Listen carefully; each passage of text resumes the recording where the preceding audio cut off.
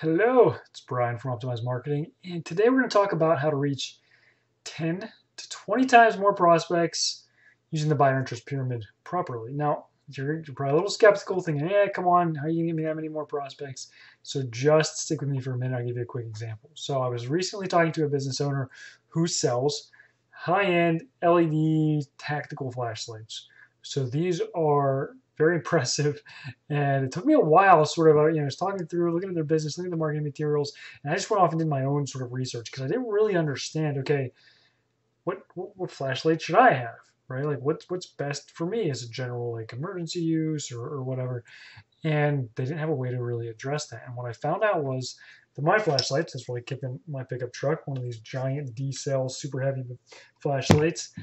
Um, was about one tenth the brightness of one of their lights. And of course, when I went to get the flashlight, my batteries were dead. And their flashlight's rechargeable. So though it's more expensive, it is a fraction of the size. It's about one quarter the size. So it even fits in your pocket nice and easily. No, it's not fit in your pocket. Uh, it's 10 times to up to 30 times brighter depending on the model. And it's going to save you money in the long term because it's rechargeable. I'm like, this is impressive. Me look at your marketing. And we'd see things like this in his marketing. This is their Black Friday special. 3500U for only $9.95 when you purchase the PD35 V2, TK16, or TK11 TAC. Huh? Do you have any idea what that means? I don't. uh, what was happening is he's targeting a buy now market. People that know their flashlights, know what they're looking for, and potentially say, oh man, that 3500U for only 995 that's normally 2895 right? Which obviously should be there. Oh, cool. Anybody else like me that's like, I think a flashlight's awesome when I actually understood the specs and how it worked compared to what I currently have. They're missing out on, on, on reaching. And so if you understand your marketing's targeting and buy now, which most marketing out there is, it's offering discounts and coupons and things like that, like that ad was, it can get to people who are just information gathering or even further down the problem aware. I'm going to suggest it's not worth your time at this point to look at not problem aware. We'll, we'll talk about that more. So that's the current marketing of buy now. Let's look at a different example, drinking water.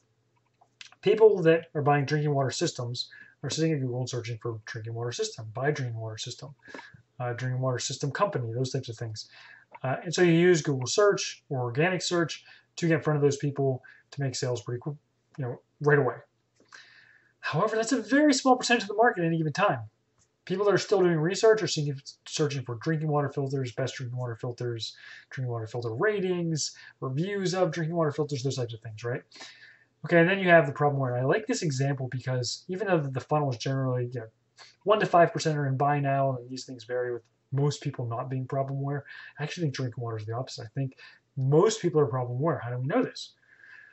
Most people drink bottled water, right? Most people have a pitcher filter or a fridge filter or something like that that they're using to filter the water. They're not drinking. Nobody's like, man, I love my tap water. I mean, there's a few, not many. Most people not loving their tap water. And so that's an opportunity because we also know that most people are not using drinking water systems. They're using some other sort of minimal opportunity. So just thinking from that example right there, if you can get to all the people that are drinking bottled waters, you know, small pack or pitcher filters, and come with a message that, that reach them what does that look like? Your market's going to be at least 10x larger than what you're currently able to get after just talking about drinking water systems directly. Okay, so let's let's look through this a little bit and talk about the different stages of this funnel.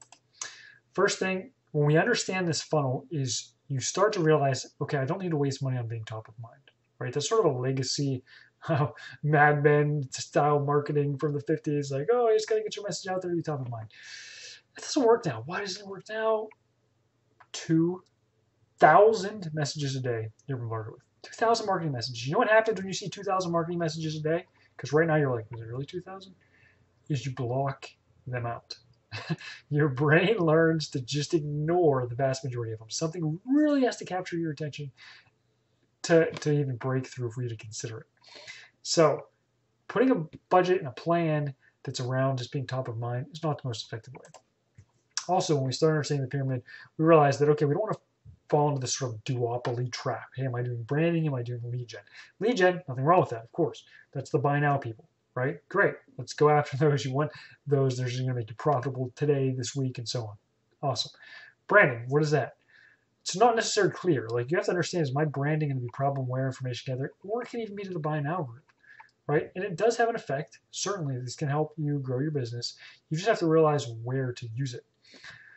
Okay, let's keep moving here. Don't address multiple buyers at once. So if I'm trying to market a uh, drinking water system, and I'm talking to people who don't realize they are drinking pee water, like that's literally what it is, right? It goes down the toilet, gets recycled, gets filtered, but the Prozac doesn't get filtered out of that. And I, I put together a marketing that talks about that. You're not going to say, oh, $100 coupon off a drinking water system. No, no, no.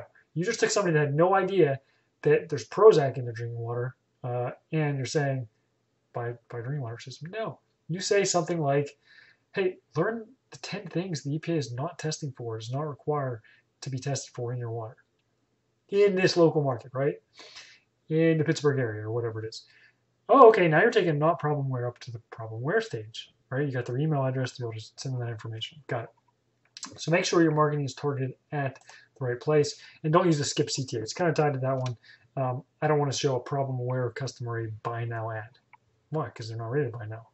Okay, we're going to lose them. So how do we move them up this pyramid?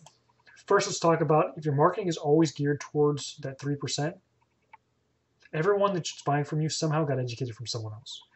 And how do you know if you can keep optimizing that? If you currently have customers, I'm sorry, competitors, then there's more opportunity, right? Because if they're buying from another competitor, there's people that are buying now, not from you. Hey, there's an opportunity there. That being said, you can't only do that, right? Once you just get an ROI from buy now, doesn't mean you have the entire market, but you have an ROI from it. Now you can start moving to people in information gathering mode. In other words, you start at the top of the funnel, make sure all that marketing is dialed in, and then you go to the next level in the funnel.